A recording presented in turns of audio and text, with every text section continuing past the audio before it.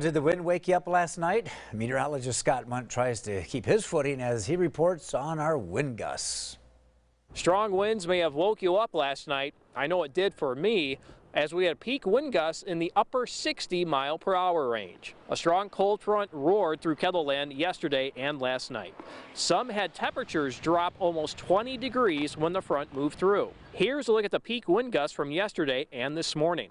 Many reported wind gusts in the 60 mile per hour range. Some were even pushing 70 in western and southeast South Dakota as Mitchell had a gust of 69 and Rapid City had a gust of 68. While winds slowly die down during the day today, they'll ramp up again for tomorrow, though we won't have speeds as close to what we had last night. The strong winds helped bring in the cold air, and it also gave us wind chills well below zero. And that's a story that we will continue to unfold as we go through the week. For KELOLAND Weather, I'm meteorologist Scott Mundt.